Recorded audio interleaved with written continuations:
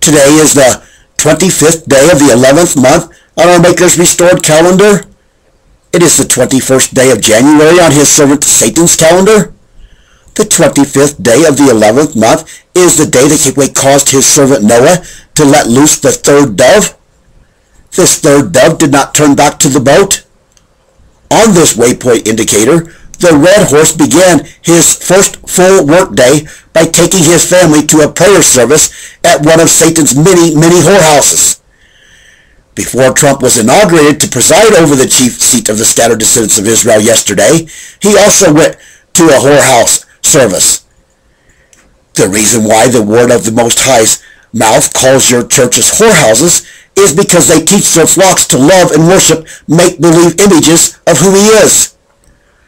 The reason why Trump attending these whorehouses and the strategic timing of it that he's done so is significant is because in doing so, he is positioning, positioning himself to appear as a servant of Elohim. And many of you that are of the scattered descendants of Israel are buying into the illusion that he is some sort of a savior that is going to deliver you from all of your woes. It is true that the Most High has indeed risen up Trump to serve him, but not in a manner that you Trump followers think.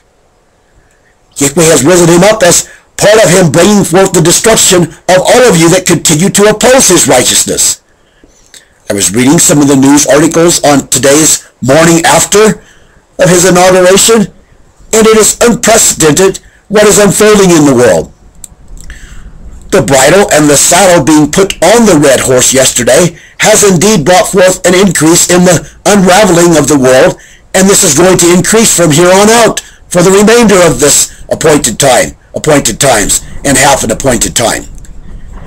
Instead of going into the details of all of the unrest that the world is experiencing ever since the reins of this horse were given into my hands, I am going to share with you some very simple reasoning that no reasonably intelligent person that is in Christianity can reject.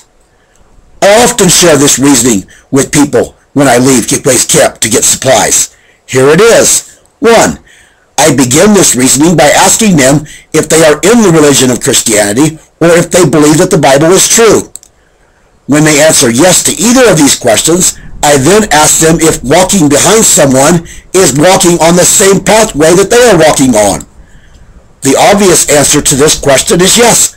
So when they say yes to it, I asked them, did not Yahweh's only begotten Son tell us that the only way into eternal life in his Father's kingdom is to follow behind him? They have to, of course, answer that he did so. Then I asked them, if they believe that Yahweh's only begotten Son lived by every word that his Father sent forth from his mouth, even from the least of his Father's commandments to the greatest of them. Now, they obviously have to answer yes to this question as well.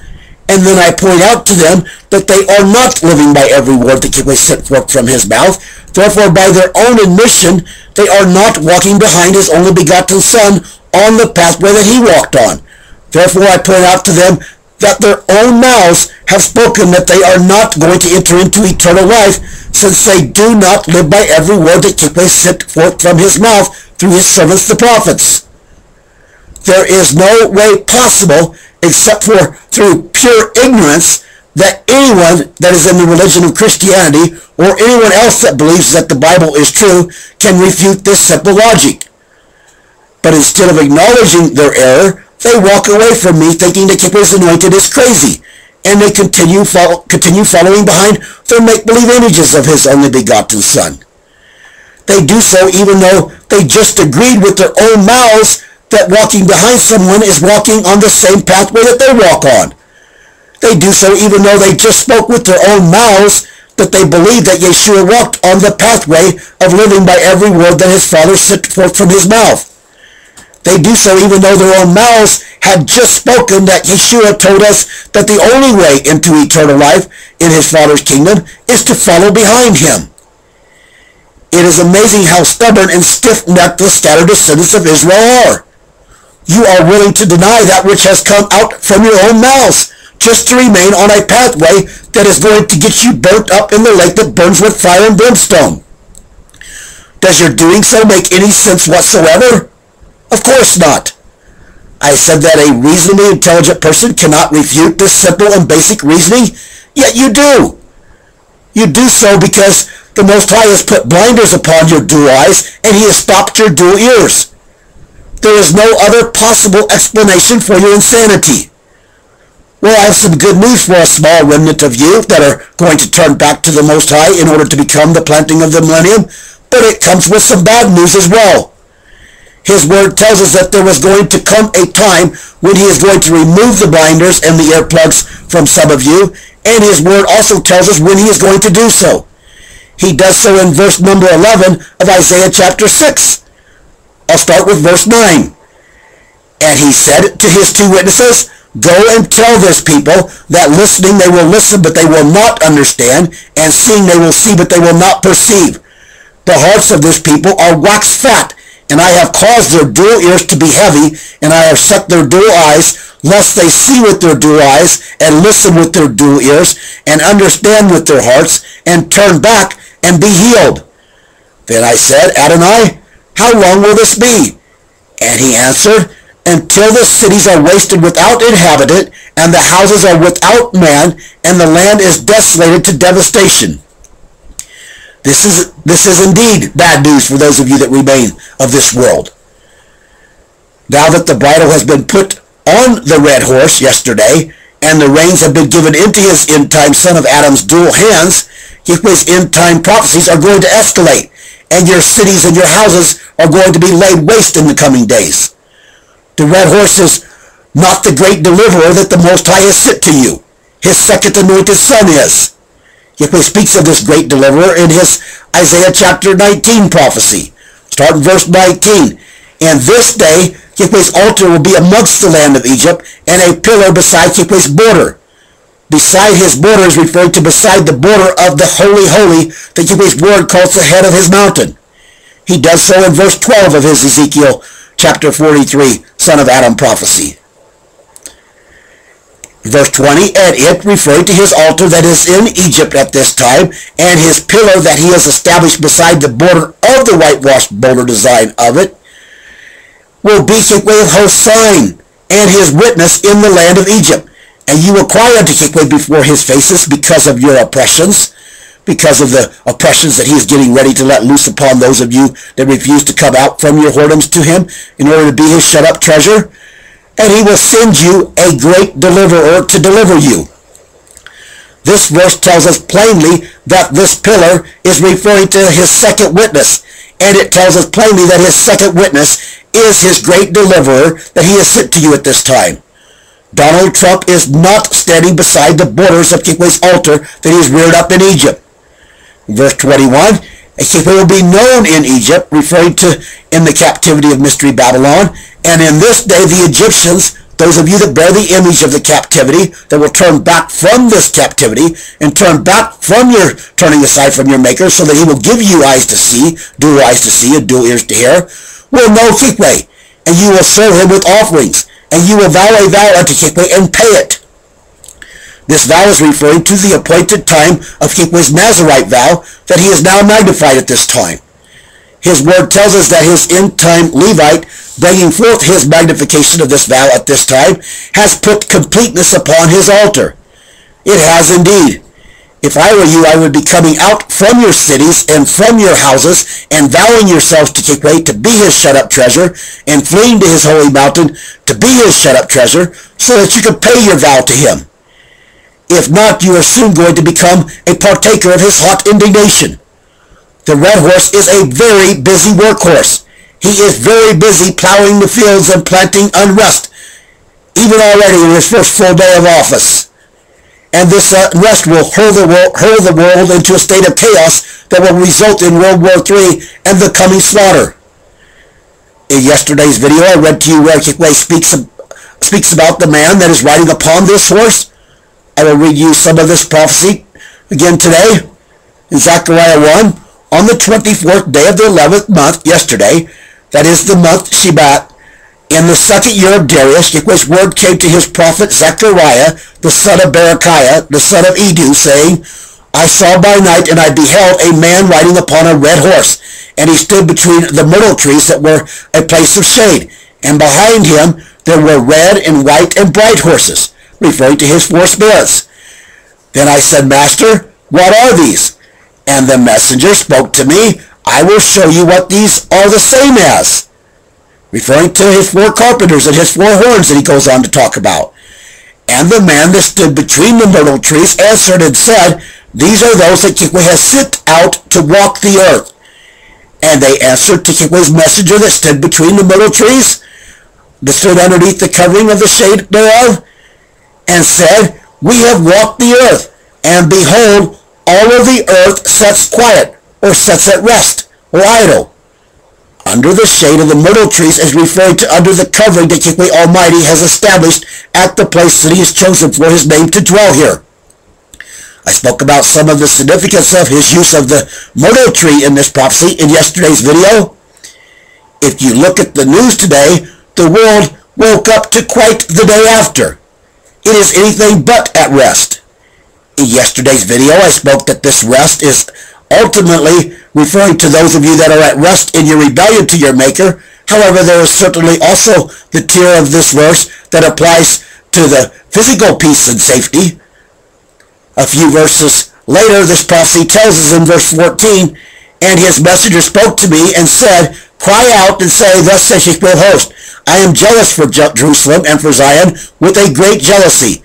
I have great wrath, and I am angry upon the heathens that are at ease, referring to those who are at rest and have no fear of their Maker. And I am angry that even the small of these have helped evil. And then in the next verse, he tells us that he was going to send this man that is riding upon the red horse to stretch out his measurement to build his house in Jerusalem. His word testifies that the chief seat of the scattered descendants of Israel is the United States at this time. Therefore, it is prophetically Jerusalem in this prophecy and others as well. He says, Therefore, thus says Yahweh, my compassion will turn back to Jerusalem, and my house will be built in it, says Yahweh of hosts and a measuring line will be stretched forth upon Jerusalem. This is not complicated.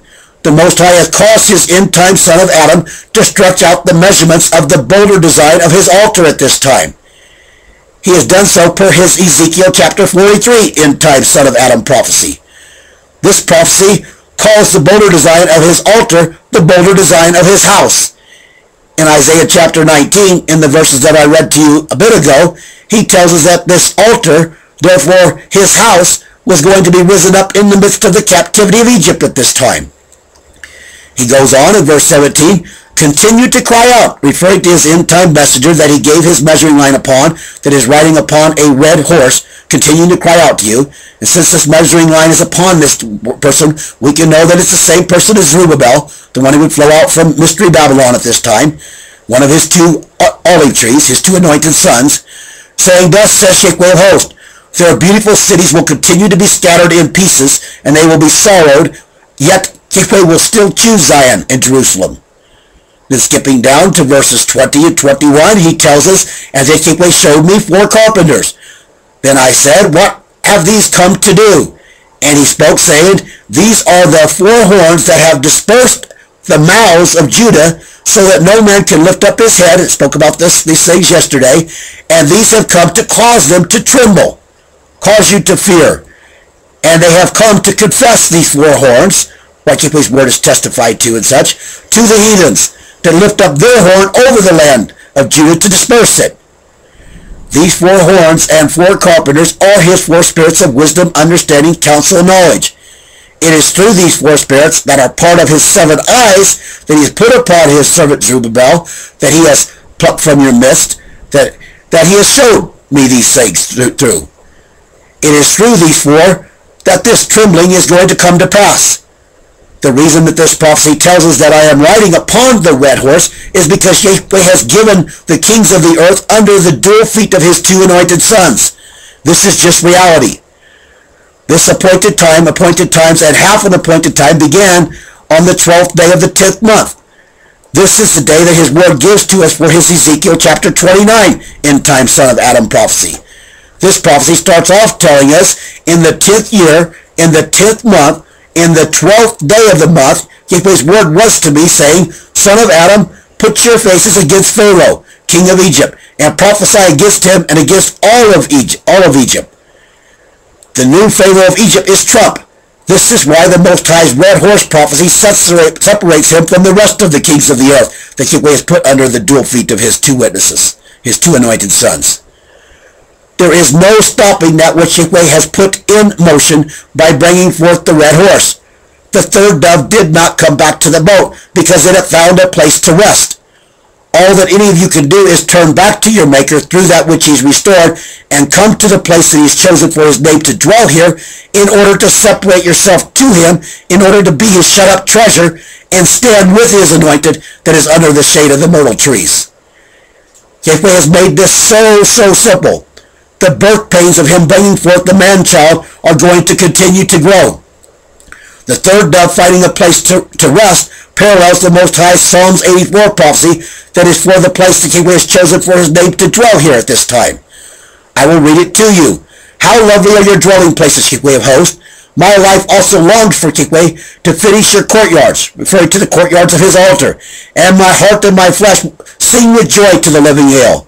Also the bird has found a house. The liberty or the set-free bird has a nest for herself, that she may place her brood in your altars, Yahweh of hosts, my King and my Elohim. This liberty bird is referring to the two wings of a great eagle of the revelation of Yahweh's only begotten Son. Blessed are they that dwell in your house. They will continue praising you. Selah. Blessed is the Adam whose power is in you, whose heart is on your highway. His word tells us that he has set up Zions to mark his highway out from Egypt at this time.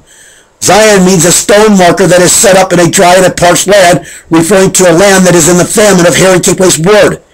His altar is made up of whitewashed stones that he has caused his truth to be written upon them for this second Exodus, an Exodus out from the captivity of Mystery Babylon. The border design of his altar forms a great big X, as in X marks the spot. This is the place to escape the toil. Verse 6, they will pass over the valley of weeping to the fountain that you have put in place, and you will also cover their blessings with your teacher. The fountain that he has put in place is referring to the fountain of living waters that flow out from his house. His word calls me his teacher of righteousness. Verse 7, they will go out from your ability to your ability and be seen by Elohim in Zion. From his ability to his ability is referring to you coming out from the strength of your own arm that he has given to you anyway and going into his almighty hands and putting your trust in his almighty ability to be your help at this time. Verse 8, Yahweh Elohim of hosts, listen to my prayer. I have given, given my ear to the Elohim of Jacob. Selah. His word tells us that we've turned our ears from hearing his, his Torah, that even our prayers are an abomination to him. I see your shield, Elohim, and I will look upon the faces of your anointed looking upon the faces of his anointed at this time is the shield that he has put in place. Because a day in your courtyards is better than a thousand, and I choose the doorkeeper of my Elohim's house, and to move away from the tents of the wicked. Choosing the doorkeeper of his house is referring to you choosing the one that is standing upon the threshold of Yahweh Elohim's house. His end-time son of Adam prophecies testify that it is his end-time son of Adam that is standing upon the threshold of his house at this time. This is the same son of Adam that Yahweh put his writer's equal upon my dual loins in order to cause me to write his truths upon the border design of his altar. The Zions of his altar. If you continue to refuse to move away from the tents of the wicked, you are soon going to be burnt up with them. Verse 11, because Yahweh Elohim is a sun and a shield. Yahweh gives favor and honor, and you do not hold back good from them that walk without blemish.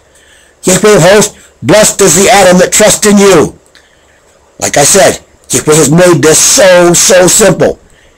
And so is his Salvation 101 reasoning that I shared with you towards the beginning of this video. I'll sum it up to you. Do you believe that his word is true? If so, is walking behind someone walking on the same pathway that they walked on or walking on? Did not Yahweh's only begotten Son tell us that the only way into eternal life in his Father's kingdom is to follow behind him?